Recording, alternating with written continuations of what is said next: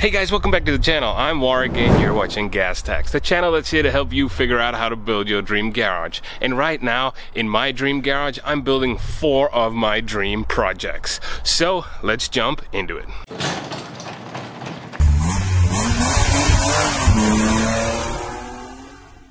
So there's been a ton of new viewers and subscribers to the channel lately and today I want to do a project update and a channel update to let you know what I'm working on and where we stand on all the projects. So since 2020 has been a weird year for all of us, um, my wife and I decided this is the opportune time while the kids are young and school is like virtual and closed uh, that we will hit the road and see America. We're gonna do the whole social distancing thing but in our own uh, weird, cool way.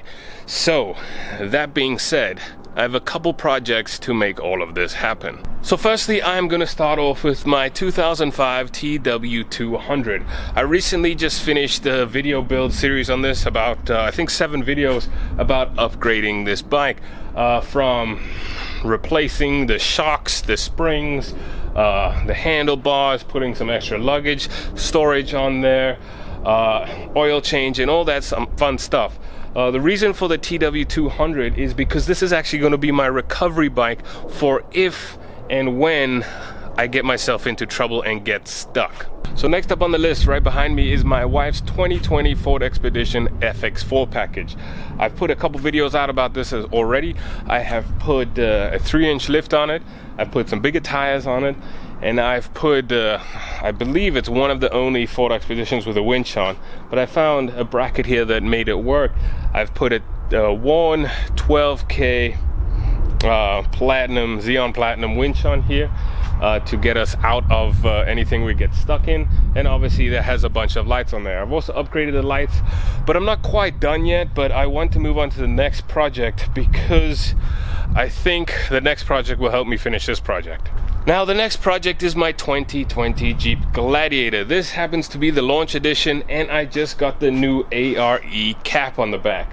So this I have a bunch of different projects. Haven't started them yet. The ARE was the first start, but basically let's go over the list here. So I've got the Baja Designs uh, ditch lights coming. Uh, I've got amber fog lights. I got a amber light bar coming. Then I've also got a Warn Zeon 12K winch for this baby. I've got uh, integrated uh, reverse floodlights that are going to be going in there. I'm going to mount a hijack inside the bed. I've got airbags for the back. Then I'm going to need to put a dash camera on. Uh, I'm going to modify the toolbox on this ARE cap with, I think, some OmniWall products. And if you guys know anything about my channel, I love OmniWall products for my garage, so I think they will work perfectly in the back of the camp or in the back of the cab here in the toolbox. Then I need to get a roof rack. Now I'm thinking about the, the Rhino roof rack or the Yaka, Yakima lock and load system.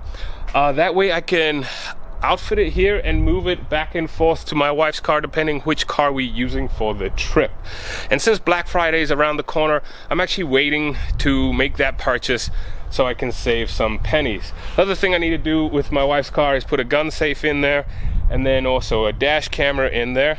Oh I also have a Tazer for the Jeep Gladiator. So yes I'm all over the place but that's how many projects I have going on. Now the biggest project which is taking a lot of time and I've actually filmed a bunch of it I just haven't launched any of the videos because I want to launch them um, when I actually have it all done. And right behind me here is my 2021 Winnebago 2306 now this is probably the craziest thing I'm turning this into an off-road off-the-grid camper. That's why I have my wife's Expedition. It has the max tow package of 9,300 pounds. This baby's dry weight is 4,000 pounds with the gross vehicle weight rating of 7,000. So I've done a bunch of work to this. There's a bunch more to go, but let me jump into what I'm actually doing to it.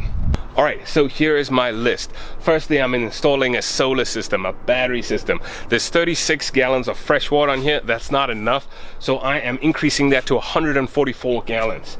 Um, I'm doing a frame mounted hitch and this is where my TW gets mounted. So my TW will be mounted on the back here in case I get stuck with my wife's expedition and the trailer in the mud uh, and my winches can't pull us out, then I can actually take the TW and go find help. Because I'm planning on doing off the grid off-road camping where there will be zero cell phone service, zero um, help around, and I'm doing this all in the winter. Snow, everything. So yes, crazy, but we're doing it. Let's get back to the list. I need gas cans. Uh, I need recovery tracks, uh, water filtration, uh, heated water tanks and holding tanks. So I need to put those on. I've got a cell phone booster for it. I need to convert the generator. I got a little 2000 watt generator. I need to convert it to propane because that will just make my life easier because it sits right there on the front. I'm running out of breath talking about all of this. But then the conventional dump system where it's just a gravity fed dump system, I'm actually getting rid of that and I'm putting a macerator system that both the gray tank and the black tank run out to. I've got floodlights all around on all the perimeters. I've got security camera system. Um, I'm trying to get uh, a company to help me out with the uh, suspension. Uh, figure out which suspension I need to make this a true independent rear suspension. That might be a next year project to see how this suspension works. I've got new tires coming for this. I've got two spare tires I'm mounting on the back because you don't know what's gonna happen. And then as well as I've got a one 10,000 pound winch that I'm mounting on the back. You know some of these trails are single car trails but if I get stuck in a car can't pull out front and I can't, uh, then I can have the option to pull it out in the rear. As well as that, I've got some crazy hitches that uh, are new to the market that should make this much easier to off-road and many other bips and bobs. So guys, as you can see, there's a ton of stuff coming. I've done about 50% of the things I've mentioned on this camp already and I will go over it when they're done. But next up, for filming purposes I will be going over the Jeep Gladiator with you guys uh, the winch mounts because those are straightforward. Everything here is customized. I'm customizing absolutely everything here. There's no manuals there's no how-tos on this and that's what's taking much longer but anyways, guys, I want to thank you guys for your support. Um, remember, if you leave a comment, like, and subscribe, you are automatically entered to win a $100 Amazon gift card. But guys, if you have any questions about how crazy or what I'm doing or comments, let me know and uh, I'll be sure to get back to you. But until next time, thanks a lot and I'll see you then.